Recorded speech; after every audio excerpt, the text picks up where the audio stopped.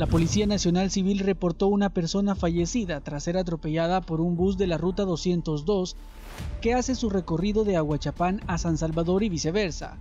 El hecho ocurrió sobre la segunda calle Poniente y Sexta Avenida Sur en Santa Tecla.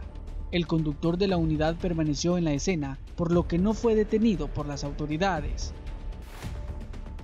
En el kilómetro 31 de la carretera a San Juan Opico, un motociclista resultó gravemente lesionado. De acuerdo con información emitida por los socorristas, la víctima habría sido impactada por una rastra que salía de un predio que se encontraba en la zona.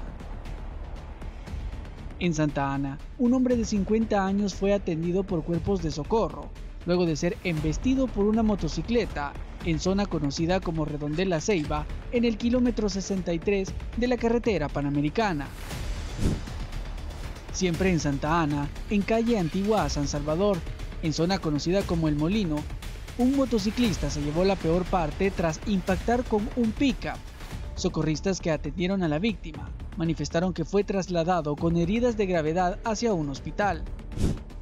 De acuerdo con el Observatorio Nacional de Seguridad Vial, hasta el 20 de febrero se reportan 2.444 accidentes de tránsito, 32 más que el año anterior. Sin embargo, la cifra de lesionados refleja una leve disminución, cerrando hasta el 20 de febrero con 1.458, 5 menos que en 2022. Asimismo, la cifra de mortalidad por accidentes de tránsito refleja una baja de 17 personas menos que el año anterior. William Trujillo, TCS Noticias.